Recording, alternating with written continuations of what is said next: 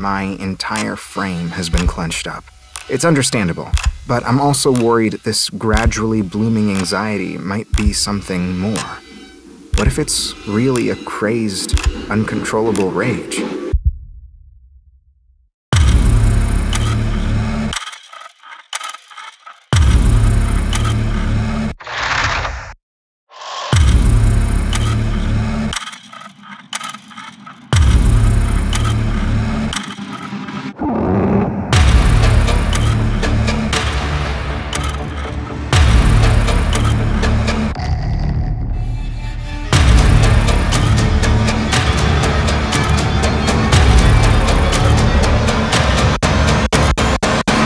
It's absurd.